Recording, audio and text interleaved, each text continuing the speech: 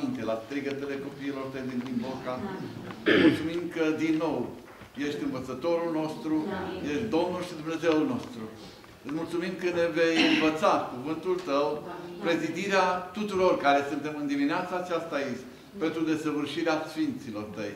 Îți mulțumim din toată inima că ne-ai ascultat, te slăvim, te binecuvântăm în vecii vecilor. Amin. Amin.